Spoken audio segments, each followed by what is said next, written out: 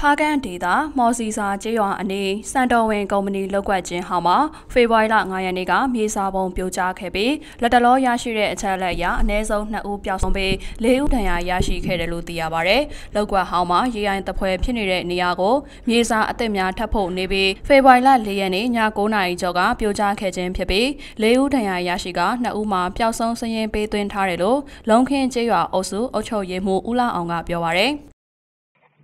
ပြီးတော့ ရွာနဲ့တက်ရက်တဲ့ ဖြစ်တဲ့ရိုင်းမှုတွေစိန်မှုတွေလည်း ကျွန်တော်တို့ဒီကိုယ်ရွာမှာရှိတဲ့ဒီကြောက်ဒီရှိ အဲ့ဒါတွေဒီကြောက်တင်းတိုင်ရတာတော့ အဲ့မှာ တင်တော်တဲ့ ဒီမော်စီကာဒီအပေါ်ကျောင်းမှာ ကုန်းမှနေတဲ့ဒါတော့တင်းတော်တဲ့ အဲ့ဒီရောက်ပဲ ရှိတယ် ဟုတ်ကဲ့အဲဒီ600 900လောက်တဲ့သူကတင်းဟောင်းကို လုပ်တဲ့အတွက် ကျွန်တော်တို့ကတော့ဒီ သူကဒီလိုဟုတ်တယ်ဆိုတော့ကျွန်တော်တို့ကပေါ်တဲ့အချိန်မှာပဲရပါဒီတိုင်းဟုတ်တာတော့ဟိုကတော့တော့လွယ်တော့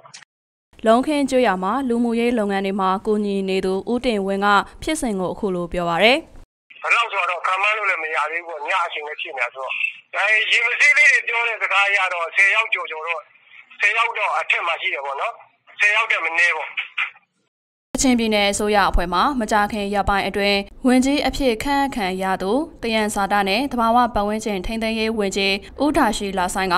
ဖားကန်ဒေသမှာကြောက်စိမ်းတူးဖော်မှုမှာဗျံပဒအနေအထားဖြစ်နေကြောင်းကြောက်စိမ်းလောက်ကွက်ကုမ္ပဏီများနဲ့ရေမဆေးကြောက်ရှာဖွေသူများပါဥပဒေနဲ့အညီဆောင်ရွက်နေတဲ့ပုံစံမဟုတ်ကြောင်းဥပဒေရဲ့အားနည်းချက်နဲ့အမှားယွင်းမှာဖြစ်နေကြောင်းရင်းအခြေအနေကြောင့်အသက်ဆုံးရှုံးမှုအနေအထားပါဖြစ်တယ်လို့ပြောကြားပါရယ်ဖားကန်ဒေသမှာမြန်မာနိုင်ငံအရရက်မှရောက်ရှိလာတဲ့ရွှေပြောင်းလုပ်သား၃သိန်းဝန်းကျင်အမြဲရှိနေပြီးကြောက်စိမ်းလောက်ကွက်တွေမှာတရားမဝင်တနိုင်တပိုင်းတူဖော်တာမြေစာပုံများမှာရေမဆေးရှာတာကြောက်စိမ်းတူဖော်နေစေလောက်ကွက်တွေမှာကြောက်စိမ်းဝင်ရောက်ရှာဖွေခြင်းစတဲ့လုပ်ငန်းတွေလုပ်ကိုင်နေကြတယ်လို့သိရပါဗျ။